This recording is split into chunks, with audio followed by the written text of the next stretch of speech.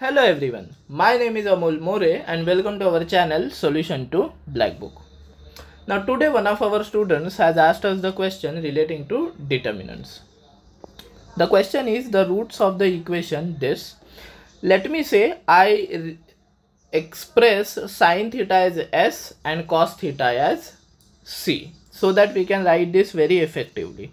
So this will be 3x square x square plus cx plus c square x square plus sx plus s square and then x square plus cx plus c square and then 3sc square 1 plus s2 theta by 2 and the last row uh, last column is x square plus sx plus s square and then 1 plus s 2 theta by 2 and the last element is this. Okay.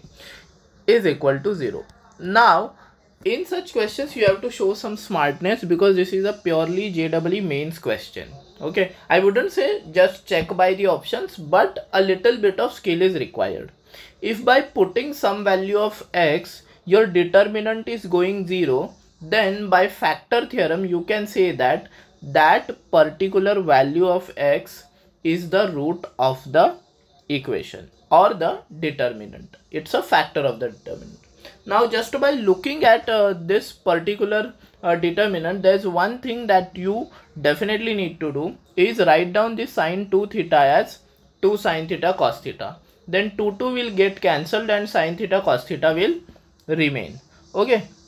So let me write that down once again. 3x square x square plus cx plus c square x square plus sx plus s square and then it will be x square plus cx plus s square and uh, then it will be x square plus sx plus s square.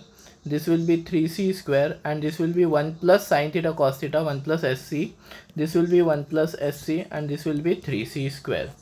Okay that is equal to 0 okay so this is our simplified form. So let us rub this earlier form which that won't be required as of now.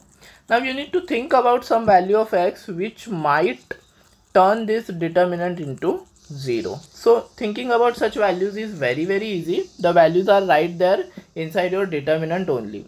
As to which i see sine theta.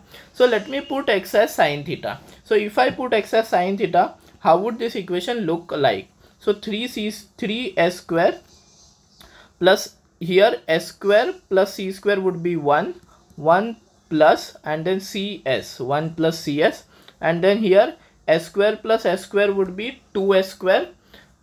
And uh, then it will be s s into s s square. So 2s square plus s square it would be 3s square. Okay. Then over here again it will be s s square plus s square 2s square plus cs so let me write down 2s square plus cs and over here 3c square.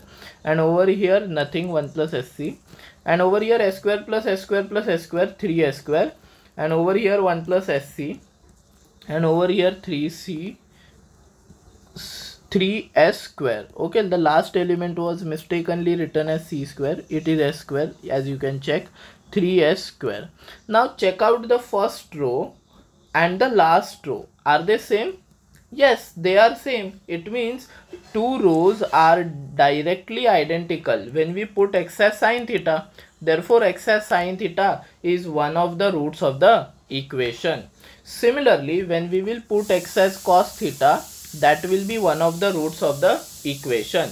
Hence the correct option to this question would be option a so how did we do this? We did this directly by factor theorem. You just needed to think some value of x which might give you uh, the answer as 0. So once I put s as x as sine theta, I got two rows identical and I got the determinant as 0.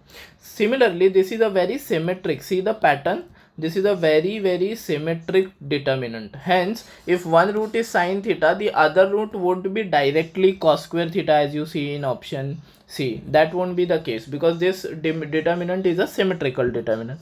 Hence the other value will definitely be cos theta. You can yourself check by putting x as cos theta. Your second and the third row will definitely second and the first row will definitely tally and you will get the answer